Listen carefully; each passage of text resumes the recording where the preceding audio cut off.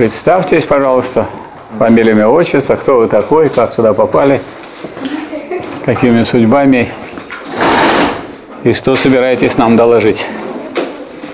Здравствуйте. Я Иван Иванович. Его непонятно, я не расслышал. Здравствуйте. Я Тахмазиди Иван Иванович. Ну, сейчас вот лучше. Вот Да. если бы я бы представлялся, я бы так представился. Студент. Здравствуйте. Попов Михаил Васильевич. Это убедительно же, а у вас как-то не убедительно получается. А убедительно можете представиться?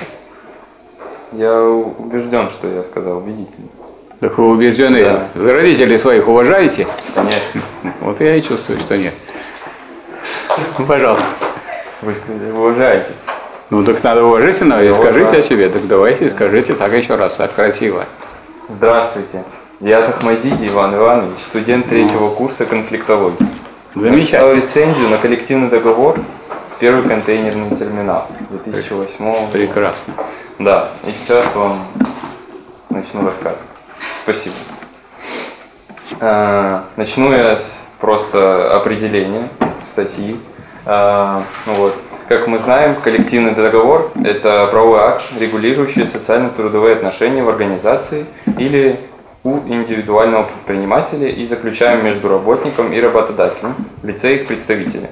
Это по определению э, статьи 40 Трудового кодекса Российской Федерации. Вам тут все понятно в этом определении? В принципе, да. Работодатель кто? Это кто? Ну, работодатель, Да. хозяин, Хозяин? хозяин. Ну вот, скажем, когда вы взяли вот этот, кто тут, хозяин какой? В том коллективном договоре, который вы рассматриваете, кто здесь хозяин тогда? Ну, работодатель. Ну как его зовут? Это конкретное же вот. Вы же свою фамилию знаете? А? Ну, Это лицо, это физическое лицо или юридическое лицо? Юридическое лицо. А что же вы говорите хозяин? Все-таки юридическое лицо это как-то не смотрится как хозяин, правда? Ну, не То согласен. есть юридическое, но может быть и физическое лицо в случае, вот это как раз вы рассмотрели этот вопрос, когда индивидуальный предприниматель, правильно? Тогда он может нанять, и тогда он выступает работодателем. Но если он индивидуальный предприниматель, то он уже оформлен, этот физическое лицо оформлено как юридическое лицо. Вот вы можете открыть ООО один? А? Почему, наверное? Запросто вы можете открыть. Сегодня здесь пойти и зарегистрировать.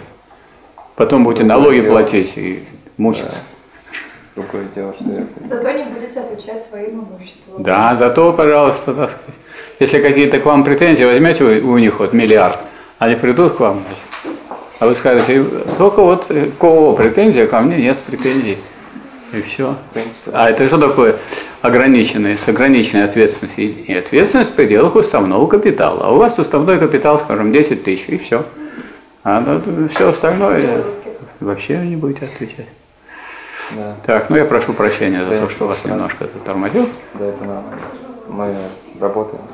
Да. Введение данного коллективного договора, по моему мнению, представлено и написано в полной мере, уточняя как основные важные пункты, вроде срока действия данного договора, его окончания, возможных проблем, возникающих в организации, и то, как они будут их разрешать. Например, там написано путем переговоров.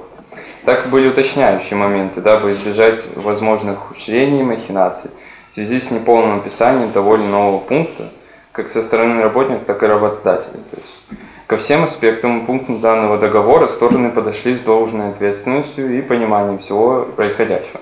Были хорошо прописаны моменты э, того, как должны разрешать возможные конфликтные ситуации, как я уже сказал ранее.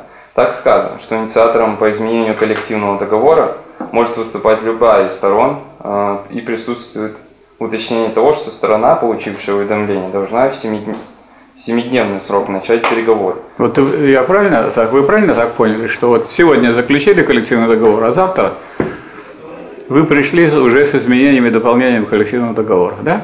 Может такое быть? было прописано, что э, они, то есть любая из сторон может э, вносить, ну, Ну вот я и спрашиваю, я хочу уточнить, так сказать. Если было прописано, значит, вами прочитано, значит, да, ну, значит, может, Ну, на следующий нет? день может, да? Потому что у нас некоторые не знают, ой, теперь, значит, только через полтора года, через там три года можно будет менять коллективный Нет, здесь договор. написано лишь то, что... То есть вы сегодня приняли, а уже можете начинать. Ну, вдруг вы проснулись и забыли включить какой-то пункт важный для вас. А вот какой документ надо подготовить, если вы хотите начать э, переговоры по изменению и дополнению коллективного договора? Ну, вы договариваетесь со сторонами. А что договариваться? Не о чем договариваться, у вас ничего нет. Вы что приняли? Почему? Вот я директор генеральный, вы сейчас с чем ко мне пришли? С разговором? А что со мной ходить с разговором? У вас есть какие-то предложения по изменению и дополнению? Нету? До свидания. Если есть, скажите. С чем вы, что вы должны иметь, чтобы начинать изме- э, переговоры об изменении и дополнении коллективного договора? Я считаю, это больше групповая деятельность, когда работники собираются с какими-то Ну, какая разница, где они собираются и что они собираются? И- Какой документ должен у вас быть для того, чтобы вы с этим документом пришли к другой стороне? Заявление. Заявление, какое заявление? Хочу с вами переговариваться. Ну, давайте, сейчас я подам, открою бутылку этого газировки будем пить бутылку газировки. Это, это будет переговоры. Ну нет, это более официально. Ну, а вот что, с чем вы должны прийти? Ну, у работника Ну хорошо, вы, так вы, хорошо, вы вот генеральный директор, с чем я, я сейчас вам скажу, с чем я к вам приду. Только вы, значит, успокоились, что мы с вами все завершили переговоры, так? На завтра с утра я к вам являюсь, и у меня, значит, 30 страниц документ. Предложение работников по изменению и дополнению коллективного договора. И написано, статью такую-то, вот такую-то изложить вот так-то. В итоге она будет звучать вот так-то. Статью такую-то изложить вот так-то, она будет звучать вот так-то. Статью такую удалить. Добавить такую-то в этот раздел, такой-то номер. Еще добавить такой-то номер. Это, это. И так вот 30 страниц. Я вам говорю, и что? А вы обязаны в семидневный срок, как вы правильно сейчас сказали, начать со мной новые переговоры. То есть ну, мы уже договорились, у нас есть договор, мы уже, так сказать, в хорошем настроении работаем все, но это не значит, что мы не должны думать о лучшем. Правильно? Это же хорошо, это соответствует конфликтологическому наст- настроению, на то, что мы не должны вот просто на столкновение. У нас уже договор есть, мы уже как бы друзья. Ну, друзья, это не значит, что вы должны думать о, об улучшении положения, правильно? А если вы просто думать будете, и придете, я пришел к вам с Думой. Я говорю, ну как пришли с Думой, уходите с Думой. А вот если вы пришли с официальными предложениями, я обязан их рассматривать. И не только развязан, я обязан с вами вступить в переговоры, и опять начинается та же самая бодяга. Вы скажете, а только надо освободить вот раз, два, три, четыре, пять, освободить от работы с оплатой по среднему до срок до трех месяцев. Так? Это вы читали в Трудовом кодексе? То есть они работать не будут, будут ходить только со мной переговариваться. А я им буду платить по среднему. А у докера они по среднему получают там 80 тысяч. Вот 80 тысяч в месяц надо им платить, а они будут раз в неделю приходить на переговоры, а остальное время будут ходить по бригадам и с ними уточнять, правильно они понимают настроение трудящихся. Вот это же вот мы должны этот коллективный договор рассматривать как так инструмент чего? Как инструмент борьбы трудящихся, с одной стороны за свои интересы, а с другой стороны инструмент борьбы работодателя за что?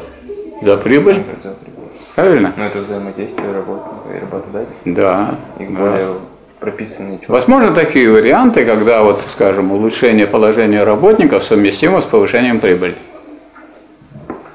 Или это просто перетягивание каната. Вам хуже, мне лучше. Вам лучше, мне хуже. Я думаю, тут больше это подходит слово компромисс какой-то. между работником и работодателем, когда Ну, а они достигают определенных э, Ну, у вас вот вы конфликтологи, у вас какие-то предложения-то есть по этому поводу, чтобы было и мне хорошо, и вам хорошо, тогда легче Ну, переговоры пройдут. У работодателя, в принципе, принцип получить э, больше денег, заработать прибыль. У работника Но они э, прибыль работает тем, зарабатывают не, не- не пустыми руками, а И, естественно, они как-то договариваются. с помощью чего получается эта прибыль?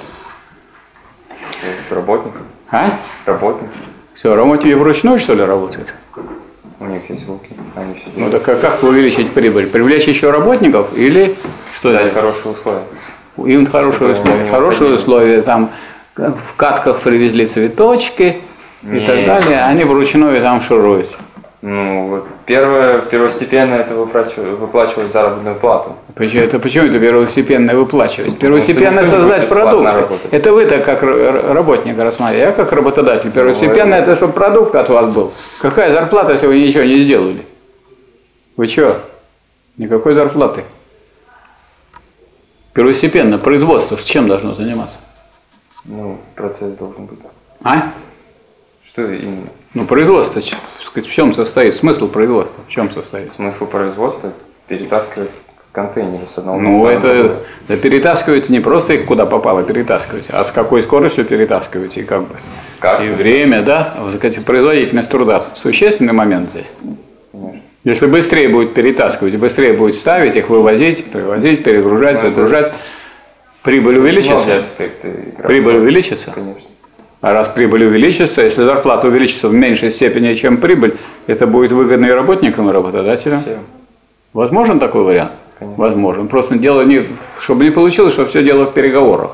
Дело не в переговорах, а в таких предложениях по улучшению производства, которые обеспечивают подъем производительности труда и создают основу для повышения заработной платы. Так?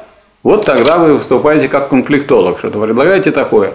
А вы говорите, давайте зарплату. Ну, это понятно, это вы ходите. пш, Я вам тогда скажу, что вы как опять пришли. Нет за что вам зарплату платить. Ничего не делаете. Лучше не работаете. А вы скажете, как вы лучше работаете, если у вас техника старая? Давайте технику новую, мы, а нас обучаете, а мы повысим производительность труда, у вас будет больше прибыли, у нас больше зарплата. То есть мы не должны отрываться вот при рассмотрении бумаг от того, что эти бумаги отражают. Эти бумаги отражают реальные противоречия, которые есть. А противоречие это что такое противоречие? Изучали философию? Кто вас преподавал? Чему он там вас научил? Не надо ли гнать таких преподавателей? Что такое? Почему это нет? Надо гнать, если они не научили. Так противоречие, в чем смысл противоречия? Как определять? Кто поможет, товарищи? Звонок другу или подруге. Кто-нибудь скажите, друзей уже нету, только подруги остались, так? Ага. Что такое противоречие?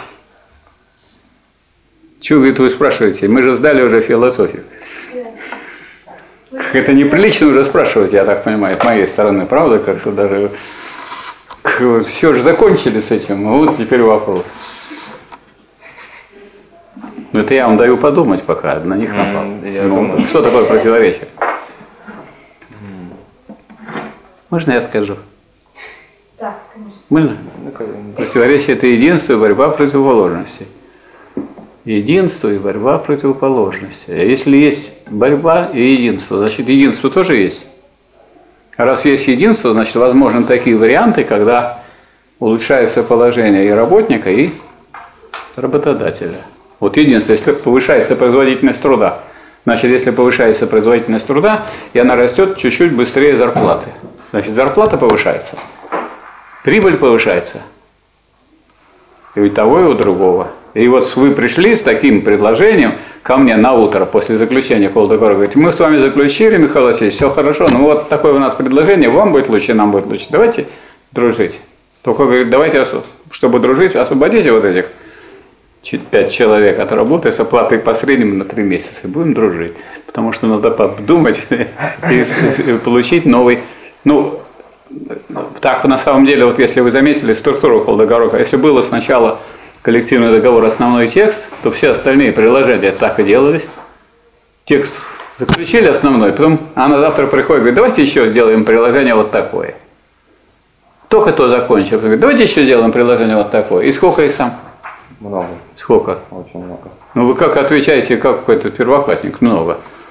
Или как, знаете, как это, дикари, их спрашиваешь, сколько? А это один, а это сколько? Это много. Ну сколько приложений это? Вы же, вы же, вы же сказали города, у меня рецензия. На что? Да, а вы, скажем, на мое выступление сделали рецензию. Какие ошибки допустил, какие достоинства? Это серьезно, как если рецензируете. Как вы не знаете, сколько. Ну много приложений. Значит, много раз такие были приходы, с продолжением, правда? По крайней мере, по количеству. И все же подписаны, все приложения подписаны. А когда они подписаны, они входят в коллективный договор. Да. И тогда получается он уже расширенный. Потом еще на одно расширенное. И так все расширяет. Поэтому там тире. 2008 Поэтому кто, кто вспомнит, сколько там приложений? 30. Вот уже 30 гаков, а 30 с гаком уже, да? Ну 30, вы уже сказали, надо как-то оформить красиво. 30 с гаком. А ты сказать, 30 я не помню. Раз не помните, уже можно на вас нападать. Вы должны как-то отбиваться учиться. 33. Ну вот, 33 предложения. Ну, это здорово же. То есть 33 раза к нему. Только он успокоится, этот работодатель. Опять к нему. Иван Иванович. Вот у нас предложение заключить еще одно. Ну, можно. Вот они в этом смысле очень грамотно сделали. Они так потихонечку. А можно было сразу вот такой вот притащить багаж. И там все предложения по изменению, дополнению коллективного договора. Можно и так было сделать. А можно по частям. Вот я учился на матмехе, у нас там говорили, что вот решаешь, решаешь интеграл, он никак его не взять. Была такая поговорка, если, если трудно взять интеграл, не получается, то оно берут по частям, интегрируют по частям. Если интеграл не берется в целом, а берут по частям. Так и в жизни. Вот вам нужно закончить Санкт-Петербургский государственный университет. Это что значит? Ну вот этот курс закончили, и этот закончили, то, да потом там это выпускная работа. И глядишь, и все, и закончили. Это же все тоже сводится к таким легко решаемым. Вы уже на третьем курсе, вам это сдать это какой-нибудь курс вообще ничего не значит, правильно? Это уже все для вас это пройденный этап. Ну еще там остался курс. Выпускная работа. Кто написал уже выпускную работу? Все странные такие люди, вот я не знаю. Почему вы не, вот вы почему не написали до сих пор выпускную работу? Вам запрещено писать выпускную работу? А почему вы не пишете? Вы все живете как сзади, там, Цербер, государственный университет. Если вы не напишете работу, вы не, не защититесь, у вас не будет диплома. Нет, чтобы вот, скажем, раз, и уже выпускная работа у вас лежала, а вы сидели тут, вот как сейчас, и улыбались. А вы сейчас скажете, а я и так улыбаюсь. Зачем мне писать выпускную работу? Логично, я уже не могу. Верно. Так, ну хорошо. Я прошу прощения, что вас остановил, но дело в том, что все, что мы, вот вы здесь ответственно говорите, все должно быть продумано. То есть продумано, с, пони- с пониманием глубины этого дела. Не просто так. Хорошо, поехали дальше. Хорошо. Дальше я уточняю то, что мы о, чем мы говорили. Э, При проведении переговоров и урегулировании разногласий работодатель не может сам вносить изменения.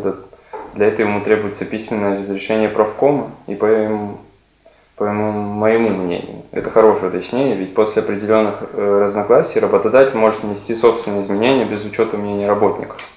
То есть Куда может изменения? Куда изменения он может? Ну, в плане вот тут же... Полдоговора трудовой не может. да, Вот. Откуда вы взяли такое? Не может. Он внести в полдоговор изменения без соответствующей процедуры. Нет, так я и говорю, что он не может. А, не может. Да. Да. То есть он не может сам это сделать без разрешения вот э, правкома, то есть когда... И с разрешением правкома он не может сделать. Вот, это теперь говорю. для того, чтобы внести изменения в коллективный договор, надо пройти этот снова этап. Да, да. Переговоры нужны. А просто так внести изменения. Ну вот, я про это говорю, что работодатель мог бы сам внести изменения, когда он там подумал, что э, мне так виднее. А он не может это сделать, так как Не ему может. нужно переговоры, разрешение Но это правкома следует из того, что это локальный норматив, Да, да. это же нормативный акт. Это что? Это государственный документ. Только есть государственные документы, которые распространяются на отрасль, так сказать, на всю страну, да, или на какую-то республику. А есть документы, которые распространяются на это предприятие. Но единственная беда этих документов, что они скисают. То есть три года все, значит, его срок закончился, его нету тогда. То есть, если вы к этому не приготовились, если вы не приготовились к тому, что вот он закончится через три года, то у вас и нет коллективного договора. Но я думаю, вас это не, сказать, не так пугает. Допустим, если вы позавтракали, это не значит, что вам не надо думать об ужине, правда?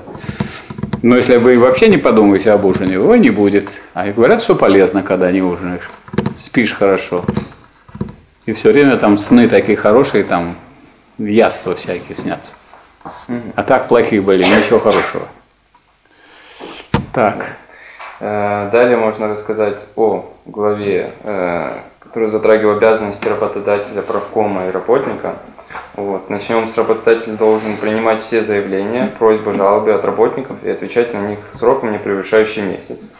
Данное уточнение тоже по поводу заявок, по моему мнению, прописано уместно даже имеет пользу. Дело в том, что в данном пункте и ниже не прописаны конкретные э, будущие действия работодателя по отношению предложений и жалоб написанных работников. Ведь он может написать или отсылаться на то, что он занят, или еще что-то, возможно, с этим. Тут он не может ссылаться. Раз обязан он отвечать, значит, он должен принять и Он ответить. Отвечает. Такой, ну, А вот, скажем, если будет нет ответ, коллективного договора, вот я, если ваш работодатель, вы ко мне приходите, говорю, вот у меня заявление. А у меня секретарь, вот она сидит, она, не берите у него заявление. Потому что нет такого закона, чтобы я рассматривал ваше заявление. Идите и работайте. Вот вы приходите после работы, а после работы я вас не приму, потому что у меня свободное время, я отдыхаю. Мгм. И все. Вот гражданин имеет право обратиться, гражданин России имеет право обратиться в любой государственный орган и в соответствии с законом о работе с обращениями трудящихся, на него в месячный срок обязан этот орган ответить. А если вы находитесь на производстве, на работе, и я ваш начальник, вы ко мне обратились, я говорю, идите и работайте, нечего тут болтать. Но я говорил именно не сколько о ответе, а о действиях, которые будут приниматься. То есть, Какие действия? знаем, Да, э, ну, да, мы он знаем, даже, он даже слышать вас не обязан, а вот теперь он обязан. То есть раз написано Это в коллективном договоре, то для остальных трудящихся на стольных предприятиях этого нет, а у них есть. А сильно ли это? И они тогда как люди здесь. С ними надо разговаривать, их на их письма отвечать. Мне вот не понравилось, как вы организовали производство. Поэтому я вот прошу вот так, так, так, так. А вы должны, я так организовала, потому что, потому-то. Вы должны объяснить мне как человек. Потому что не дураки же там сидят, они же понимают, что это нелепо вы организовали. И это же, в общем-то, и хорошо. Это разве плохо работодателю, что люди грамотно, так сказать, э, участвуют в совершенствовании производства. Ну, это правильно. Просто я именно говорил, скорее, я просто не знаю, я не могу утверждать. Но, Почему это вы не можете? Я знаю, не э, надо так. определенности. в Не надо так, не, не- надо так не себя ответа, унижать. не Вы же выступаете, я знаю, поэтому Я могу знаю. утверждать. Не о всем, конечно. А Я не кто том, знает что- все? Таких нету людей. Вы себя А, должны поднимать, а не выпускать Нет, здесь. я не опускаю. Ну, вот я и говорю хорошо. о том, что, например, работник может обратиться к работодателю, и ему раб- работодатель должен ответить, да, это Не факт, должен, а обязан. обязан. Обязан. Есть в чем разница? От долженствования, вот вы должны сделать отличный доклад. Это одно дело. Вы должны обязаны сделать отличный доклад. Сказать, а почему это я обязан? Я должен. Вот должен это такой вот, так сказать, Ну, в принципе, хорошо. это такое внутреннее, а обязано внешнее такое отношение. Так, Да. Далее э, говорится в основном о правах и возможностях работника в организации. Прописываются такие мо- моменты, как в случае происшествия в рабочее время производится осмотр представителями правкома для выяснения всех точных обстоятельств. Но Если на месте происше- происшествия произошли изменения по типу передвижения объектов или несохранения тех или иных доказательств, работника не привлекают к материальной ответственности. Вот, это хорошее замечание, потому что часто бывает, когда какие-то ситуации случаются, и там, не знаю, и тут хорошее уточнение по поводу того, что само место и все, что там произошло, должно оставаться неизменимым и проверяется вместе не просто работником или работодателем старшим сменам, а именно вместе с правком.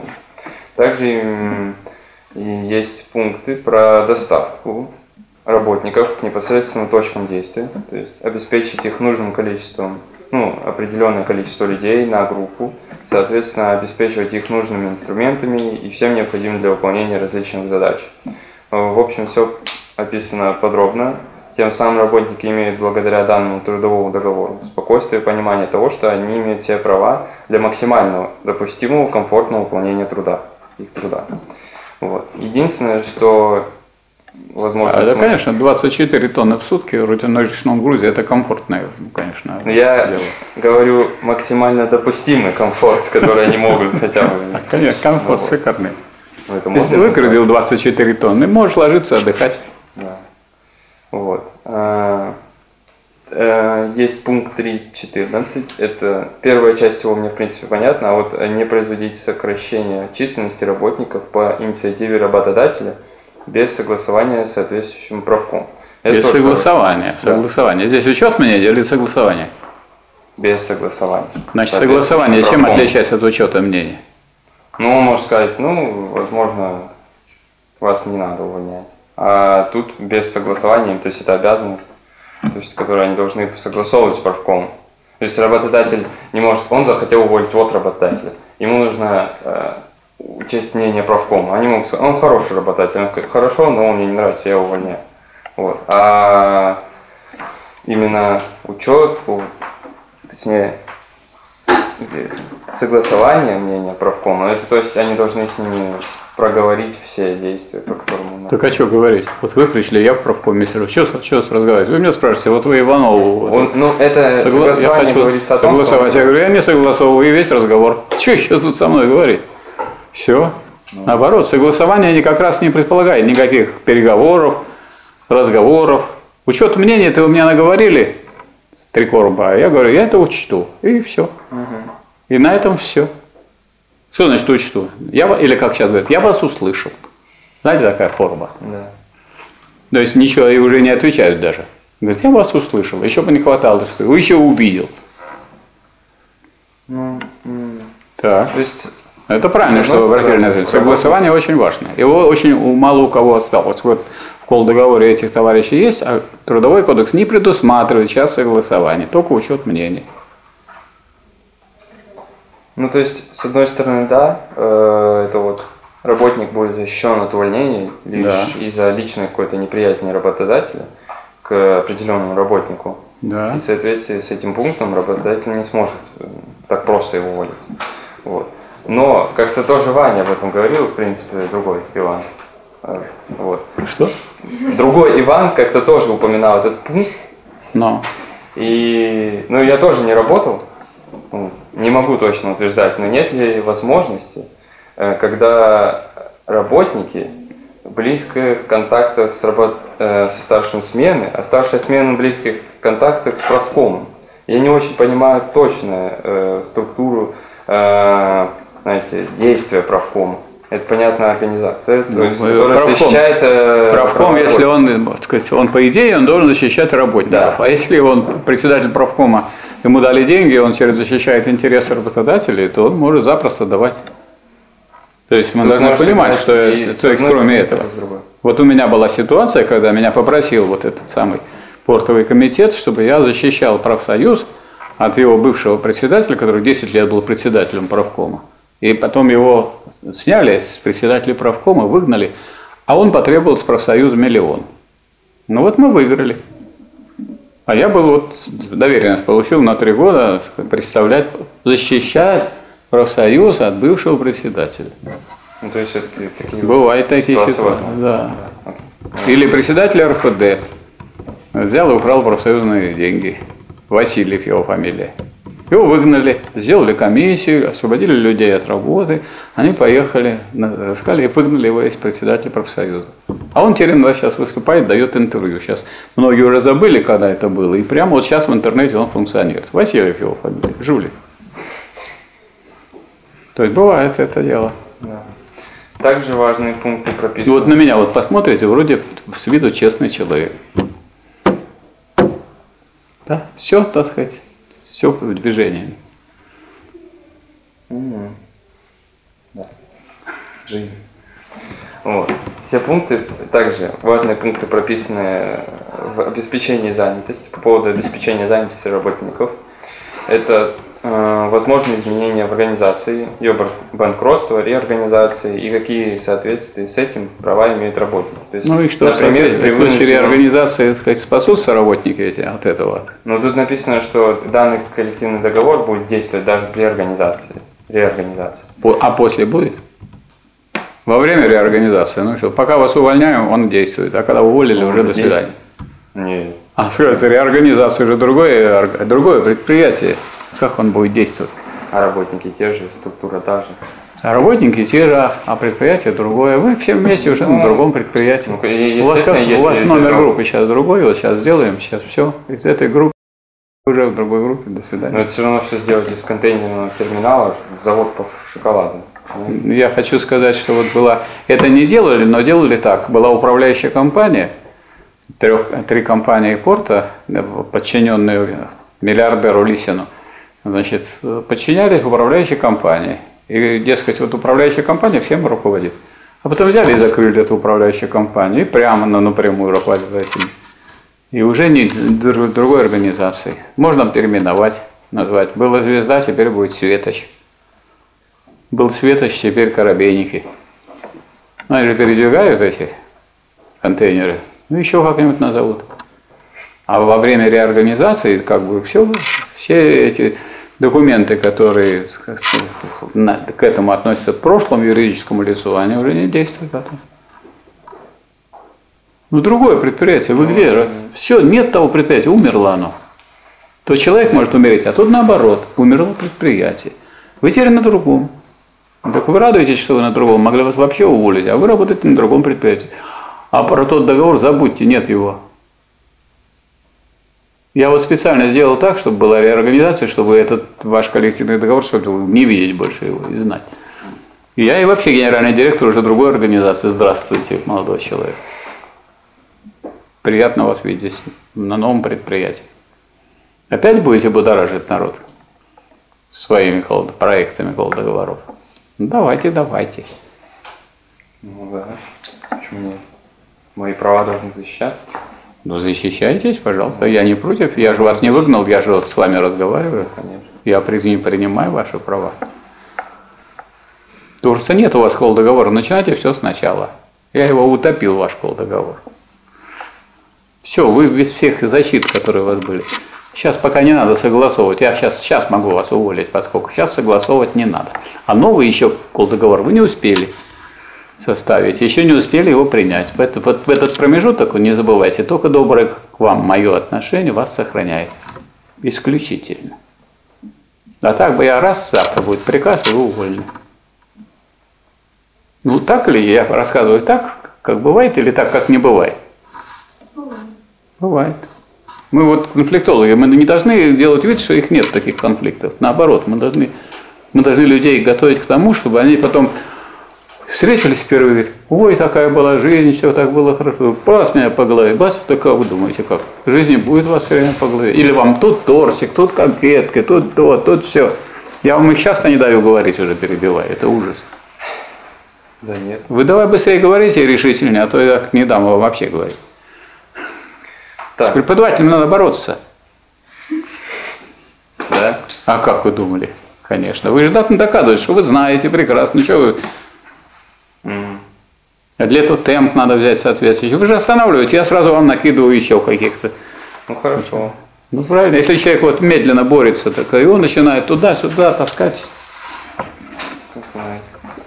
При вынужденном сокращении у работника изменяется график, по которому он заканчивает в 16 часов э, в течение двух месяцев для того, чтобы он нашел иную работу. Это вот по обеспечению занятости в главе.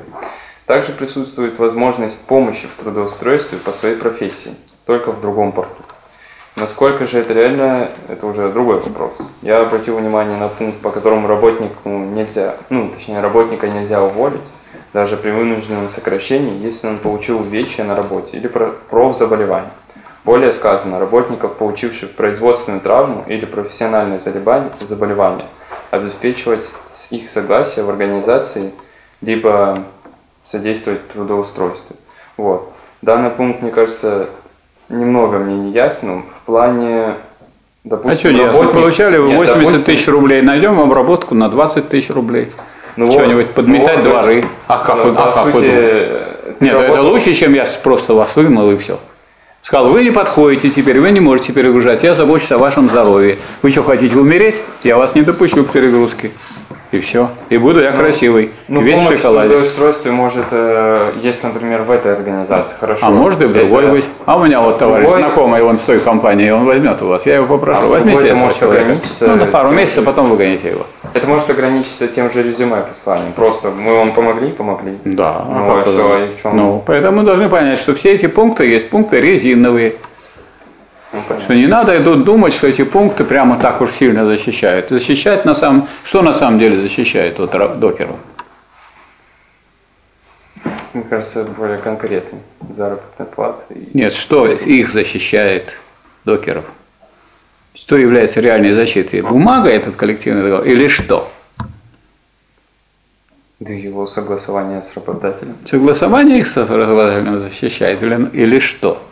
И- Работодатель выполняет эти обязательства. Каким образом? Сами действия. Ну как, как, в чем гарантия, вот как, как- в чем вы видите гарантию того, что работодатель будет выполнять этот договор? Мало ли чего я подписал.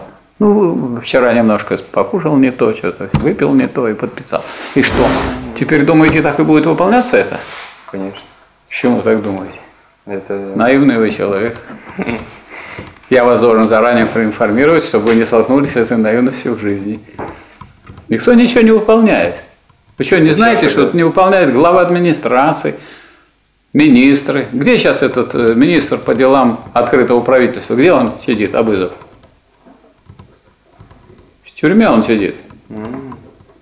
ну, стал не нужен. А где Дворкович, который был первый вице-премьер? Улетел в сторонку. Тогда непонятно Там зачем. много оттуда. Ну. А вот полков- полковник Захарченко без всяких этих коллективных договоров получил 8 миллиардов наличными. И у него прямо вот э, в квартире нашли в этих э, баулах. У вас есть 8 миллиардов? Возможно. А? Возможно. Видите, надо присмотреться, товарищ. Он, он не совсем еще признался, но уже основания зайти к нему есть. Так, скажите нам, товарищам, чтобы сегодня обыскали квартиру.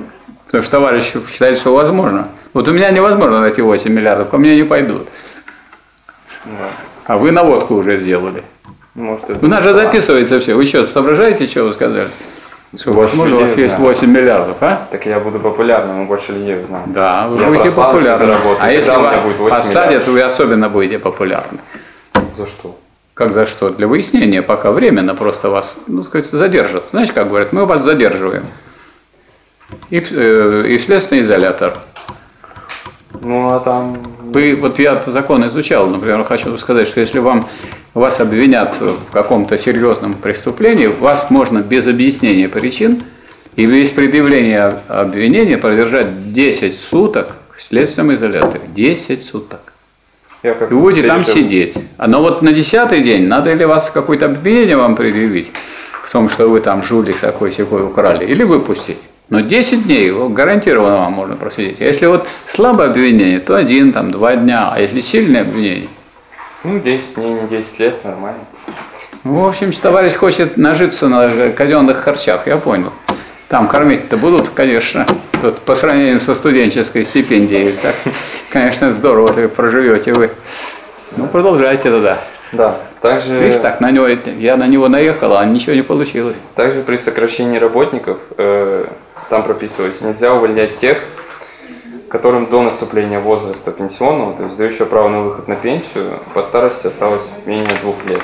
Но э, данный пункт весьма тоже, вот как вы говорите, резиновый, так как мы, ну, по крайней мере, у меня было несколько, не то чтобы знакомых, а просто я был знаком со случаем, когда работников, работодатели увольняли там, не знаю, за э, вот в этом же трудовом договоре, можно сказать, он может его уволить в эти два, за два с половиной года ничего не А нарушив. я вам докладываю, вот на этом самом ПКТ, этот договор, который вы рассматриваете, генеральный директор вызывает, или зам генерального директора, и предлагает пожилым работникам, вот, или болезненным, что мы вам даем 5 окладов, 6 окладов.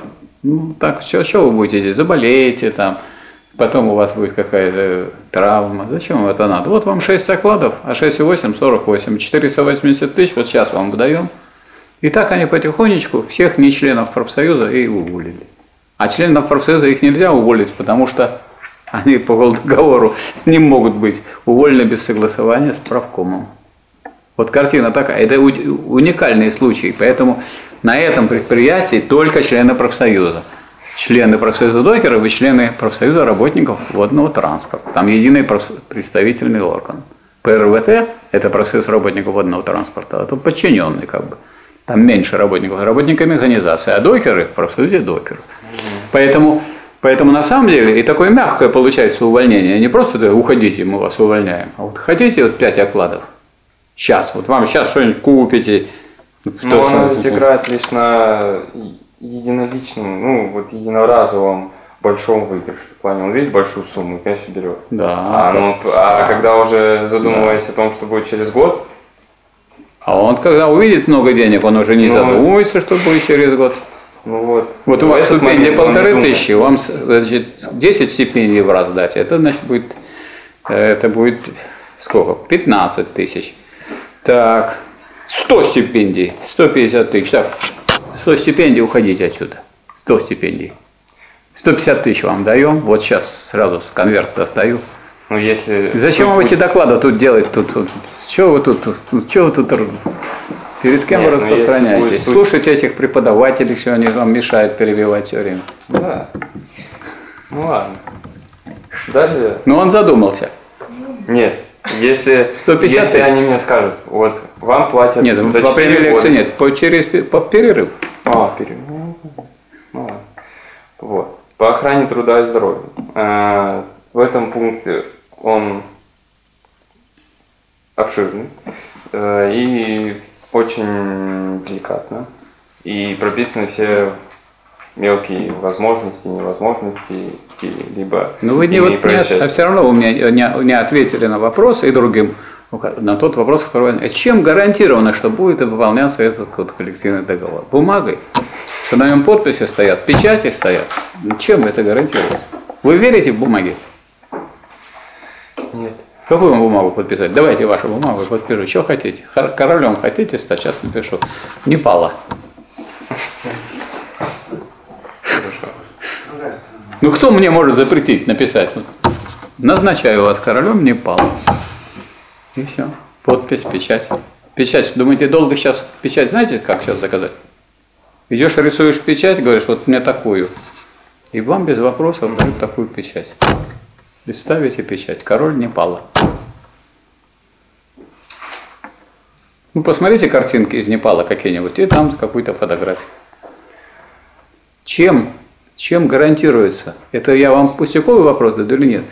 Это, если этот договор ну, ничем не, так сказать, не гарантируется его выполнение, а просто тем, что вот подписали. Ну что подписали? Что много чего подписали. Вот подписал Владимир Владимирович э, значит, программу развития, социально-экономического развития России на 20 лет. Ну и как она выполняется? Нет, уже заканчивается. Ну, Ничего не выполняется. Сюда приезжал Степашин, я ему вопрос задал здесь на днях петербургской философии. Он рассказывал, что мы вот счетная комиссия, счетная у них палата, она контролирует, контролирует, контролирует, контролирует. Я, значит, у нас еще другой был тогда, этот, этот товарищ, член Совета Федерации, бывший декан. Я говорю, можно вопрос? Вот вы сказали, что вы контролируете. А как насчет программы социально-экономического развития России, как она выполняется? Он так заулыбался сразу Степашин, а он говорит, она совершенствуется. И все. Вот так. А он всякие рассказывал про мелочь какие-то, программы социально-экономического развития России, там и рост зарплат, и рост производительности труда, и развитие экономики. Хорошая была программа. Мы ее так хвалили, восхваляли даже. А все, вот сейчас, в, этом, в следующем году заканчивается срок действия. Уже про нее никто не вспоминает. А почему про этот кол договор все время вспоминает, и вы вспоминаете, и я вспоминаю? В чем, в чем дело? Чем там это? Ну тут, тут коллективный договор, ведь это по сути взаимовыгода двух сторон. Когда и работнику удобно. Взаимовыгода вроде везде, и вот, а в других местах таких нету. И это правильно то, что вы говорите. Это один из вопросов. Почему он выполняется? Потому что взаимовыгодно. А еще почему? Потому что работники могут приостановить деятельность, если... Да, потому что работники, которым, если не будут тут выполнять, они завтра же приостановят деятельность. Сразу они придумывают коллективные действия, и завтра будет вот... И завтра э, вы сразу увидите, что все машины ездят со скоростью не 60 км в час, а 6 во всем порту ну, во всей этой компании. И все это дело замедлилось. И никакой не будет выручки. И корабль не уйдет, не разгружен будет. И он не войдет в морской канал. И страшные будут потери у работодателя. которые он сам себе устроил. Ему это объяснят популярно. Потому что вы не выполняете коллективный договор. То есть в чем? А в том, что вот это совершенно правильный ответ. То есть в том, что есть сила коллектива, и что коллектив сразу приостановит работу или предпримет другие действия коллективного характера. А таких сколько угодно сказать. Вот, вот я пришел на работу и начал проверять технику. Есть техника полностью исправная где-нибудь когда-нибудь? Вот. Говорю, ну исправляйте, а я жду, когда исправите. Жду, жду, до обеда ждал. Ну когда, в конце концов, исправить технику, чтобы я мог сесть и начать работать. Я требую работы, чертовски хочется работать. А вы меня не исправили. А я журнал сейчас напишу, что вот это, это, это сделать. И все. А так вроде смотрели. Еще что? С утра что я должен делать? Вот я пришел на работу, что я должен делать? Отметиться. А? Отметиться. Ну, отметиться это каждый может. Еще что я должен делать? Пригласить инженера по технике безопасности, пусть он мне лекцию прочитает. Владимир Григорьевич, у меня еще лекция. Ничего. Во сколько будет? Ничего страшного, я подожду. Я подожду, Владимир Григорьевич, не беспокойтесь, спокойно приезжайте. Вот заслуженный деятель науки Марахов позвонил, опаздывает. Надо подождать. Не так часто заслуженный деятель науки приезжает на работу. Короче говоря, уважают, потому что этих потому что работники не, не позволят нарушать этот коллективный договор. У них этих средств, видимо, невидимо. Вот я утром приглашу, вот инженер пришел по технике безопасности, вот он будет тут сидеть и 20, и 20 минут, значит, вещать, или час. А потом мы его спрашиваем, ну вы сколько вопросов в состоянии задать? Так, группа, сколько вы можете задать вопросов и в течение какого времени? Да посмотрите на меня, сколько я один, сколько задал вопросов. А тут вы как начнете спрашивать, все, не уйдешь отсюда. Никогда. И вот и будут до обеда спрашивать, а, а, а обязан ответить инженер по технике безопасности. Сколько обрывов нити может быть на 10 сантиметрах, не нити, а вот проволочек, оборвано на 10 сантиметрах троса? Две. Вы что хотите, чтобы мы... А? Две. Вы что вообще? Одна. Не больше одной. Сейчас пойдем проверять. Все коллективно пойдем троса проверять. Если найдем больше одной, одного обрыва, никакой работы. Вы что хотите, чтобы человек труп здесь был? Нет. Ну вот так. То есть, вот это совершенно правильный ответ. Это надо запомнить всем. Что вообще такие, вообще противоречия разрешаются чем? Силой. Мы же с вами рассматриваем что? Конфликты. Конфликтологи что рассматривают? Конфликты. Если бы они рассматривали не конфликты, а просто споры. Вот она одно сказала, я другое. Ему можем сколько хотите перепалки, так сказать, такие вести. Вот с вами. У нас конфликт с вами или спор? Конфликт у нас есть какой-нибудь? Нет. Никто никаких утюгов не берет, никаких кирпичей другого не кидает. Все у нас тихо, мирно, хорошо. Ну а конфликт, конфликт разрешается как? Это такое противоречие, обострившееся, когда сила аргументов заменяется аргументами силы. Это разговаривали, разговаривали, разговаривали, подписали, вот теперь попробуйте нарушить. И сразу будут действия. Ну, соответственно, если вы дисциплину нарушили, обычную производственную, тоже будет действие. Обязательно. Как вам, значит, могут вывести там приказ соответствующий, взыскание, так, уменьшить там штраф, наложить какие-то еще другие санкции материальной ответственности привлечь, если вы что-то, так сказать, там испортили, сломали. А в комиссию пусть входит правком, пусть убедятся, вот ваши докеры, вот посмотрите, вы их защищали, вот смотрите, что они сделали. Вот сломанная машина, миллион стоит. Сколько с него взять? Ну, миллион не возьмем, но полмиллиона возьмем. 500 тысяч. И пусть он всю жизнь вот тут будет работать и от это 500 тысяч выплачивает.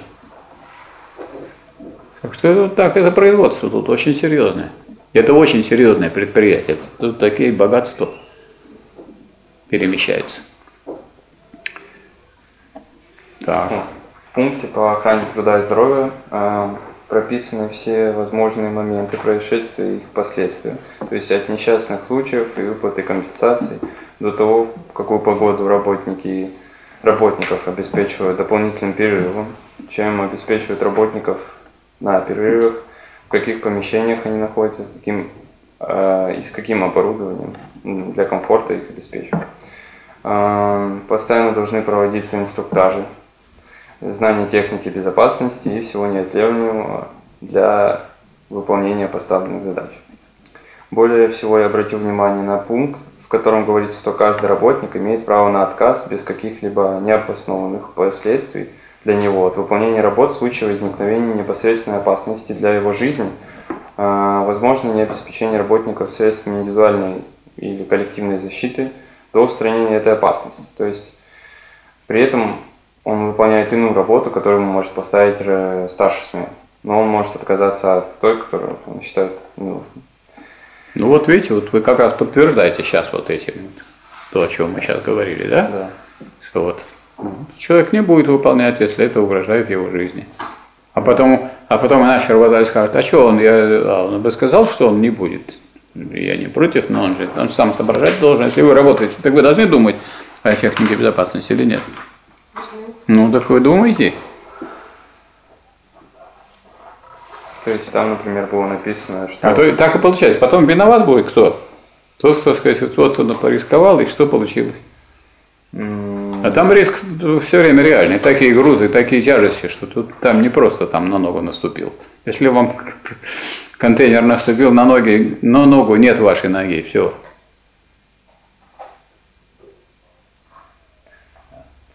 То есть это дополнительные перерывы, к примеру, например, когда температура выше 25 градусов. Да. Э, наличие там, холодильников и микроволновых печей. э, Хотя я вот, количество вот э, такую вам картину расскажу. Идем мы вместе с председателем правкома, товарищем Саржином, по, прямо по территории контейнерного терминала. Выходит докер, вот такой весь красный, он спустился с этого своего погрузчика.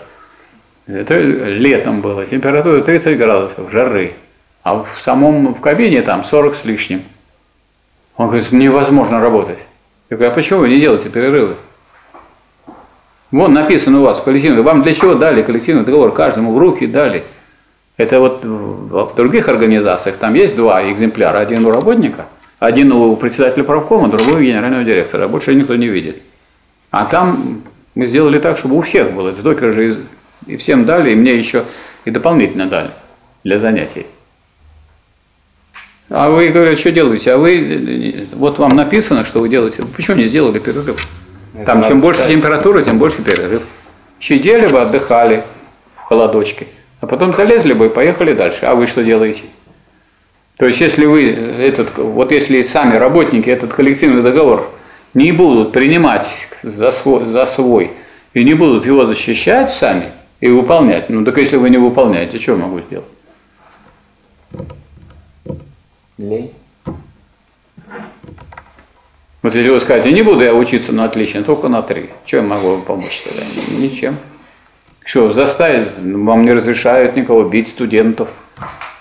Ну как можно? Как, что мы можем сделать? Не можем. Мы меньше можем поставить, но если человек на, на три отвечает, специально пришел, что мы можем сделать? Ну, тогда... вот. Тогда, если, например, он не знал, если это трудовой договор, то есть, э, ой, коллективный договор, и А вот надо... это все должны соблюдать. Да, Почему поэтому вручают, поэтому вручают еще правком, вручает каждому докера, чтобы он потом не говорил, что он у него не было, где прочитать, я не читал. Можешь не читать, но ты считается, что читал, потому что ему дали. Вот напечатали все, мы этот вопрос отдельно обсуждали, как гарантию этого дела, чтобы у нас не было такого, мы не знали, а мы не думали. Как не, вот вы грамотный человек, вот читайте, там и по три образования высших у этих докеров, у некоторых. И по два, и по три есть. Вот, поэтому ну, они пошли в докер работать, потому что с этими с тремя образованиями много денег ты не получишь, а там вроде как заработки хорошие. Да, были также прописаны дополнительные выплаты в случае получения травм. А, И также говорилось про помощь в организации в этой же или в другой, дру- э, просто помощь в трудоустройстве. Ну вот интересный же получается доклад. Скажите.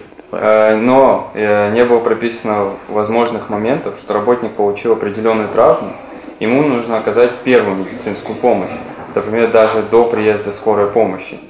И я, например, не видел, там можно было бы прописать возможные лекции для рабочих внутри бригад, для, по оказанию первой медицинской помощи. Ведь если мы говорим о докторах, вы говорите, что это опасная, в принципе, работа, когда на вас может что-то упасть или еще что-то может случиться. Например, лучше было бы, когда в бригаде все знают, как оказать первую хотя бы медицинскую помощь, хотя бы просто наипростейшую. Она иногда даже, она на многое влияет до приезда помощи скорой. Вот если вы не окажете первую медицинскую помощь, будучи в одной бригаде вот с ним, ему, я вас буду требовать привлечь к уголовной ответственности. Вот вам никакой тут не коллективный договор, а в тюрьму пойдете.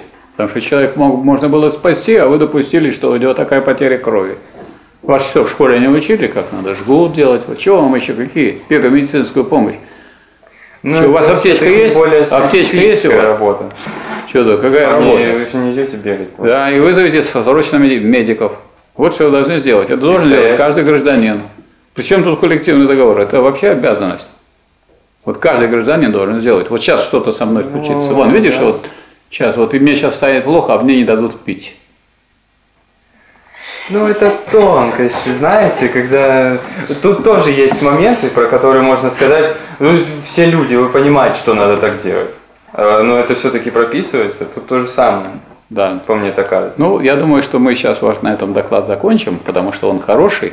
Все согласны, что он хороший, правильно? А он, в принципе, Интересный и продуманный. И вы, и вы, так сказать, вполне так, достаточно глубоко, обстоятельно и содержательно э, разбираете эти вопросы и понимаете, какое это имеет значение. То есть то, о чем мы с вами говорили, это некоторые дополнительные моменты, которые надо тоже учесть. Вот, что он не сам по себе этот коллективный договор, а он опирается на силу этого профсоюза, на, коллектив, на коллективизм, и, между прочим, на грамотность, на порядочность и так далее, в том числе и работодателей. Потому что работодатель, если он хочет, чтобы у него была нормальная работа, так он должен относиться к э, работникам как к людям, а не как э, к баранам, которые, так сказать, будут выполнять любую его прихоть. Правильно? То есть это вот очень хорошо. Да, замечательно. У нас просто есть еще вот кандидат, она рвется. Да, я вижу. Она уже думала, что так вот пролетит. Нет, не пролетит.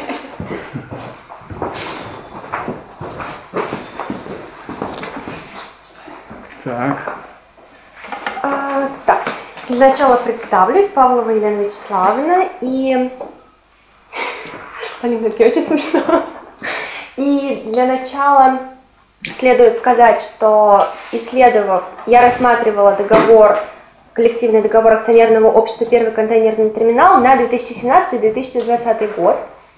А, и в ходе изучения мне понравился раздел из основного текста, пункт 3.6, по социальным гарантиям и льготам. А, Поскольку много докладчиков до меня рассматривали коллективные договоры, что предшествующий, что новый, действующий а, в целом, я решила углубиться как раз-таки в этот пункт и сравнить а, этот пункт, как он был представлен в коллективном договоре от 2008 года, который действовал с 2008 по 2011, и как он представлен с, в коллективном договоре действующем с 2017 по 2020 год соответственно. А, Для начала следует сказать, это не то чтобы особо важно, наверное, но в 2000, но я буду э, коллективный договор от 2008 года называть старым, поскольку он уже э, вышел, не действует, а действующий новым или действующим, соответственно. А, в старом договоре не старый, было- он прошлый. Ну, в прошлом, в прошлом договоре, соответственно, прос- прошлый и действующий, допустим, так, да Да. для удобства. Прошлый договор содержал в пункте 3.6 по социальным гарантиям и льготам 27 пунктов, а действующий 24 пункта. А, Соответственно, многие из них перекликаются как-то, где-то дополняют друг друга, где-то нет, а есть и различия. Об этом я сейчас как раз-таки исхожу. Все начинается с в старом договоре, в прошлом договоре, с пункта 361, а именно расходование средств на трудовые социальные льготы и социальное развитие в соответствии со, смет- со сметой, согласованной с правкомом.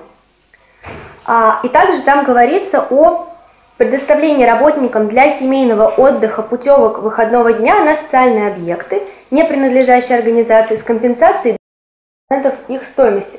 И как раз-таки этого пункта про а, социальные путевки для работников в новом а, действующем коллективном договоре уже нету. А, соответственно, в действующем договоре уже ничего не сказано про предоставление средств на путевки для работников, для семейного отдыха. А как вы думаете, вот не сказано, работники предлагали это или нет? Скорее всего, предлагали. Просто Конечно, предлагали, а их? Да. И, в принципе, в дальнейшем я буду как раз-таки об этом всем говорить. Также в прошлом а, было сказано об, о том, что будут оплачивать стоимость путевок в детские оздоровительные лагеря для детей а, от 6 до 15 лет во время школьных каникул. А в действующем договоре уже частичная компенсация этих же путевок. То есть, то есть раньше оплакивали, а, раньше оплачивали, а сейчас, сейчас... оплакивают. Да, причем Почти сказано, что э, компенсация не может быть более 80% от стоимости путевки. А, также сократили... Насчет детей. А, билеты на детские елки и подарки в случае ну, по праздникам в случае Нового года по праздникам, а, также были предусмотрены в прошлом, а, если они составляют до 15% от, отклад, от оклада работника. А для детей до 7 лет включительно. Соответственно, это были всякие и там месячные, грудные. Я так понимаю, что работодатель обязан был, если есть ребенок, неважно какого возраста, если до 7 лет включительно, Понятно. подарок. А сейчас сократили от 2 э, до 8 лет. Бедные маленькие дети. Ну, маленькие они еще не понимают, а большие уже понимают, что какие да. подарки мне не помогут. А, также важный пункт, который был в действующем договоре убран, это пункт о судах. То есть раньше работодателям, работода, работникам, работодателям предоставлялись суды, а, займы. Но а, Беспроцентные, сейчас... да? Беспроцентные, Это да. же очень важно. Попробуйте где-нибудь, получите деньги, так пойдете. А это свой вроде работодатель, здесь работает, ну, получил у себя производство на какое-то время и потом отдал. А сейчас, да, работодатель работникам суда не предоставляет. А также не предоставляет льготные путевки в Балтийскую оздоровительную компанию для неработающих пенсионеров, имеющих звание ветеран порта или уволенным в связи с пенсионным возрастом. То есть даже вот ветеранам порта уже не предоставляет? Нет, не предоставляет. А что, говорит, вы еще живой? А, то есть я так понимаю, что при необходимости все еще предоставляется материальная помощь в пределах э, сметы, но путевки уже не предоставляются даже ветеранам. А, также а, был, то есть много социальных пунктов, связанных с досугом, были убраны или с какими-то подарками там и с чем-то. То есть также пропал пункт о обеспечении работников и членов семей а, путевками а, в ДБО «Маяк» и возможность посещения ими стадиона. Также убрали пункт о предоставлении автобусов и оплаты услуг для коллективной перевозки детей в лагеря отдыха и обратно по путевкам, выданным в организации. А что вы хотите при капитализме жить как при социализме, что ли?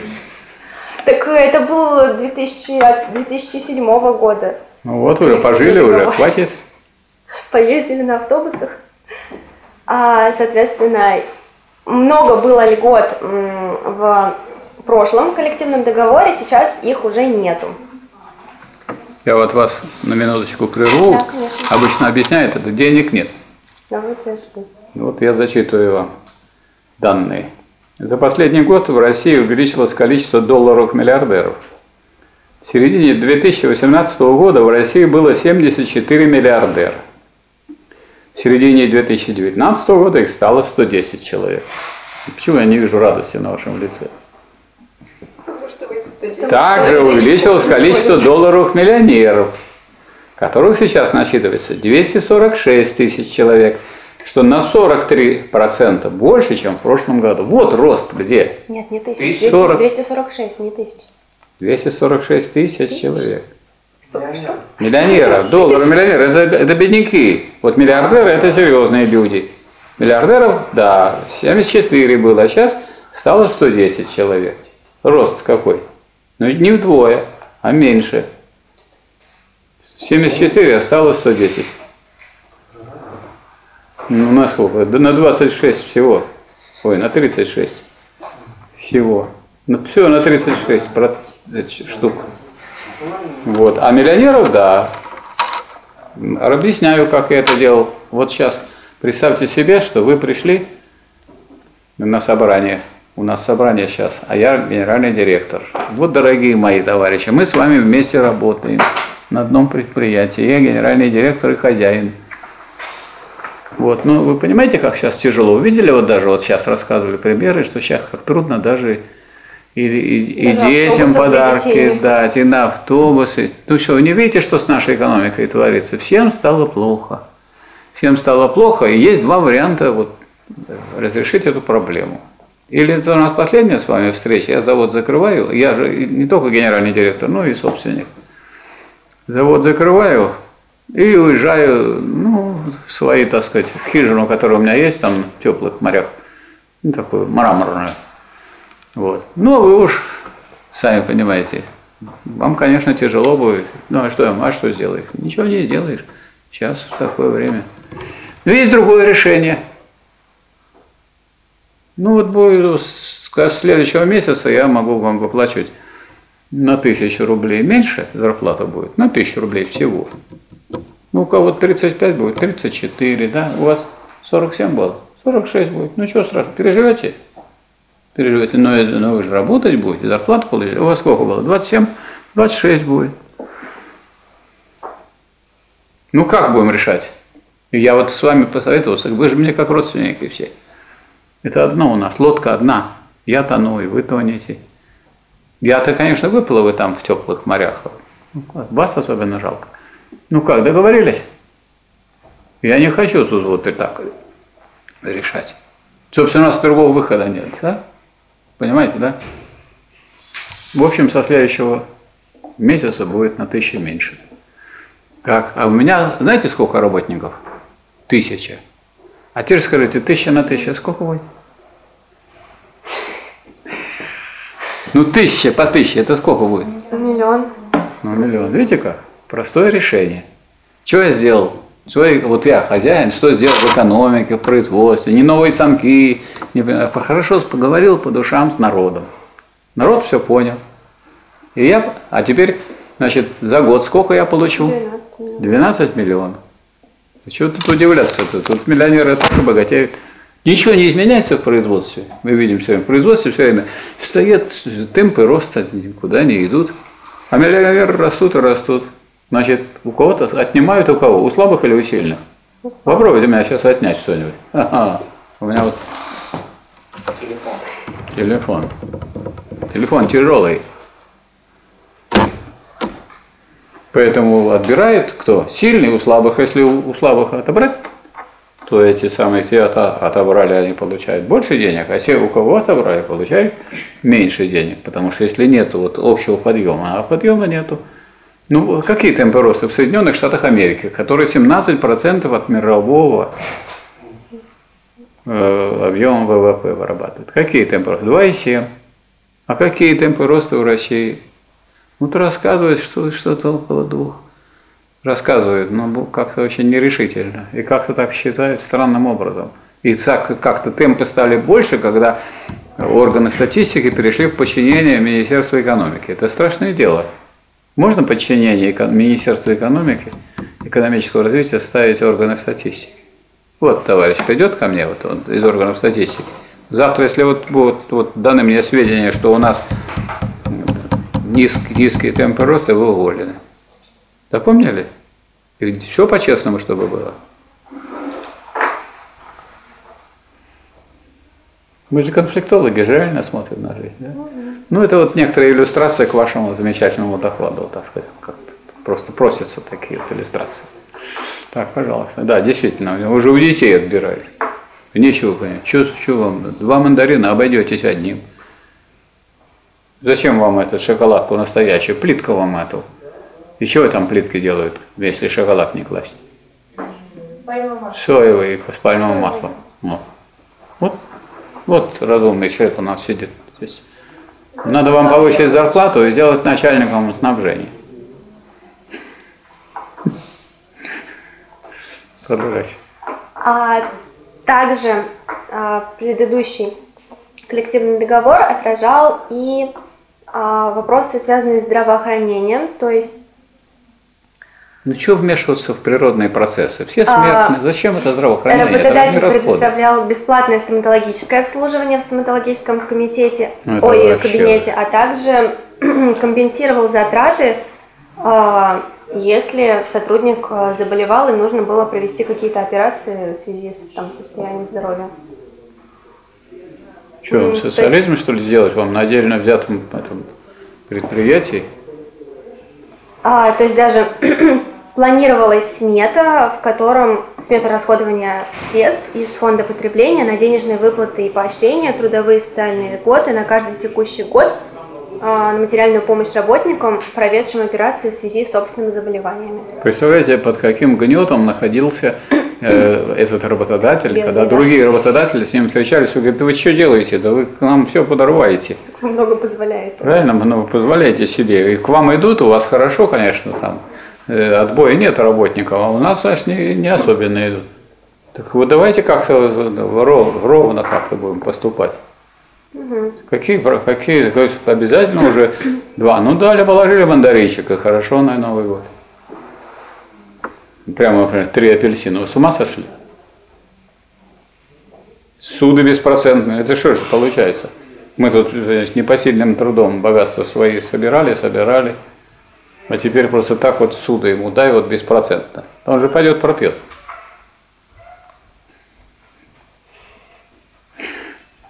Так, ну продолжайте. А, также были четко расписаны м, обязанности, насколько я понимаю, если я правильно выражаюсь, работодателя в плане м, того, что именно он должен был обеспечить, а именно обеспечить каждого работника бесплатными пропусками на территорию, включая пропуск на проезд личного транспортного средства, обеспечить хозяйственное содержание, обслуживание и бесперебойную работу санитарно-бытовых помещений организации, а именно это наличие холодной и горячей воды, а, соответствующие санитарно-гигиеническим требованиям оснащения туалетов туалетной бумагой и умывальников жидким мылом и разовыми бумажными полотенцами. А, Также каждому работнику, которому по условиям, по условиям труда необходима рабочая одежда, двумя шкафчиками для раздельного хранения рабочей и домашней одежды, обуви, головных уборов и подобных вещей, а также работу столовых и буфетов организации по графикам, а, согласованным с правкомами, горячим питанием работников, перегрузочных подразделений всех смен, а, содействие работе формируемой работниками комиссии по контролю за качеством приготовления пищи в столовых и буфетах, расположенных на территории организации, и за соблюдением стоимости и правил отпуска продуктов, а также подачу автобуса для доставки работников к бли- к ближайшей станции метро по графику, согласованному с правкомами. То есть всех этих пунктов а, в действующем новом договоре нету.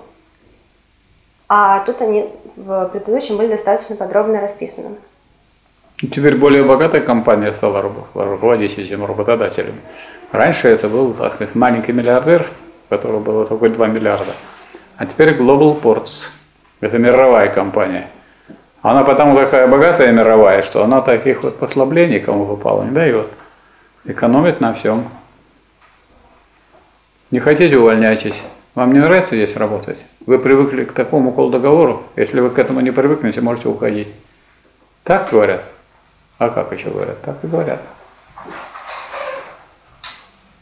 Ну а как, от этого один человек может спастись? Никак, только вот, только благодаря тому, что есть коллективные действия, вот коллективные действия предпринимается, этот договор подписан, в котором есть пункты о согласовании, только потому, что они всю прошли процедуру забастовки, всю, и у них осталась последняя акция. Они собирают конференцию и назначают дату, и все. Все, все уже сделано. И тогда, когда это уже все сделано, и все, как говорится, оформлено, то тогда уже работодатель как бы выбирает, что ему выбирать. Он уже не, понятно, что чем это дело пахнет, и тогда он подписывает, хотя бы в таком виде. А работники, конечно, хотели большего, но вот при таком этом Потому что их местные рабо- так сказать, представители работодателя объясняют, о чем мы можем сделать. Там, вот видите, эти они нам не разрешают. Ну, на чем? Вот мы не можем. Вот они не разрешали подписывать коллективный договор. Почему появился такой коллективный договор, в котором в конце нет подписи председателя правкома и генерального директора? Потому что генеральному директору сказали, не подписывай, иначе ты уволен. А как мы из этого вышли, из этого положения? Вот так, что там подписаны по- все вот эти положения, основное, все подписаны, поэтому все пункты действуют. А вам что еще надо от коллектива? Вам, вам что надо? Вам шашечки или ехать? Вам подпись в конце нужна? Или хотите, чтобы все пункты действовали? А пункты все действуют, и все. Вот такая вот непростая задача. Но это надо сказать, что это вообще редкость. Сейчас уже наличие коллектив- хорошего коллективного договора – это большая редкость. Хотя это замечательная форма разрешения конфликта. Замечательная. То есть, ну, где-то вот остановились на чем-то, записали это обе стороны. Это уже мы договорились, ну, или вы порядочный человек, я порядочный человек, ну, давайте будем соблюдать. Особенно вы мне можете сказать. Михаил Васильевич, от вас я никак не ожидала, что вы не будете соблюдать. И даже мне неудобно, как, как кроме всего прочего, правильно? Вот это очень важно. Вот. И вот надо сказать, что вы очень, так сказать, въедливо, можно сказать, к этому подошли, как и надо в работе. Вот, вы, вот вы, значит, можете составлять такой коллективный договор. Почему? Потому что вы тут добрались до конкретных пунктов, которые надо вот вписать. Не впишите там вот шоколадку, не будет шоколадку.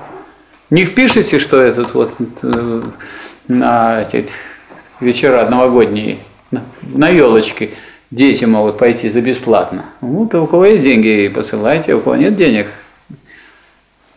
посмотрите по телевизору, там можно посмотреть, еще обязательно вот на елку вот прям так смотрите сейчас.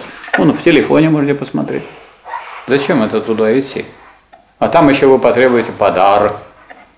А, Еще будете смотреть, что в этом подарке. Ну, это надо, кто-то, ведь люди же смотрят, конечно. Между прочим, делают, комплектуют эти подарки и так далее. Да. Ну, Вот я думаю, что э, вот, как показывает серия наших докладов, товарищи наши, и вы в том числе, разобрались с тем, что такое коллективный договор и какую он роль разрешает, э, играет в разрешении противоречия между работодателем и работой. А противоречие тут самое настоящее. И тут конфликт самый настоящий, и тут перех- переход от силы аргументов к аргументам силы налицо, потому что вот та компания, о которой вы говорите, она неоднократно проводила и готова проводить в дальнейшем забастовки. Если надо формальные, если надо неформальные. Неформальные состоят в том, что вот все бригады должны поработать по правилам в течение недели. Если по правилам я буду работать, что я буду делать?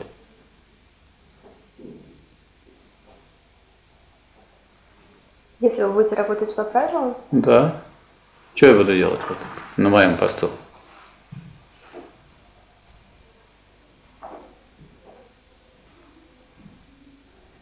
Как работодатель или как работник? Нет, На как работник.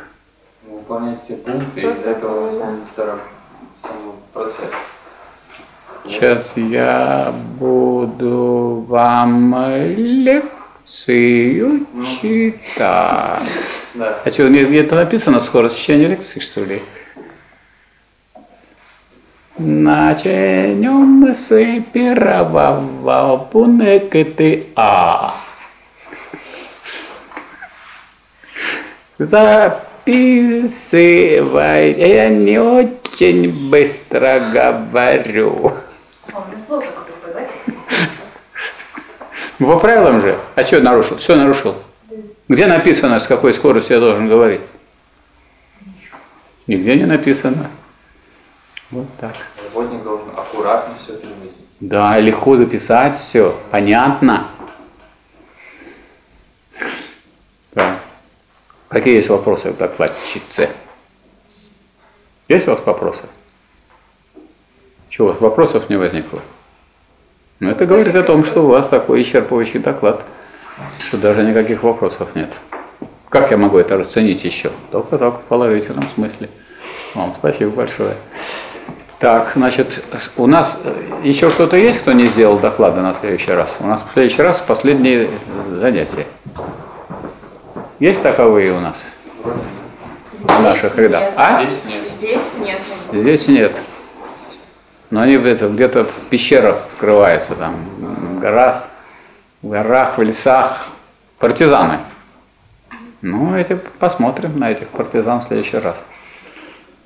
Вот. А в следующий раз мы вот послушаем этих партизан и ну, подумаем. Значит, в зависимости от того, сколько времени они у нас заберут, мы обсудим такой вопрос о неформальных забастовках. Потому что есть формальные забастовки, а есть неформальные.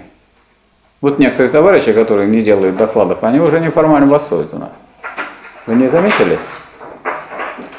Но мы их выловим. У нас будет список, выданный деканатом, и там все фамилии будут стоять.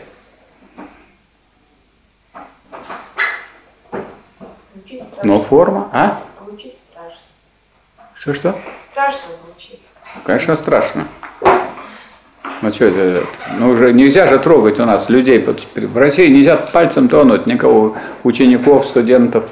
Только пугать можно. А пугать не запрещено. Ну же, как это? Вот третий курс, попробуй вас напугай, вы уже столько экзаменов сдали. Надо что-то придумывать, чтобы напугать.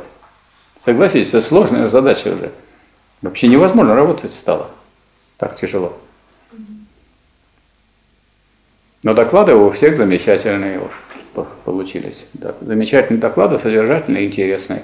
И вам было интересно, потому что не хотелось говорить просто о таких вещах, которые, ну, как бы нет их в жизни. А мы сейчас говорили о тех делах, которые есть в жизни. Это реальные люди, как говорится, которых можно, если что, потрогать руками и спросить, позвонить и так далее. Ну, так что вот имейте в виду. Спасибо, на этом мы сегодня закончим. В следующий раз последнее занятие. Ну и э, в следующий раз э, мы поговорим о, о зачете, как, что требуется в зачете. Вы же видите, что я ко всем придираюсь, даже если- когда зачета нет.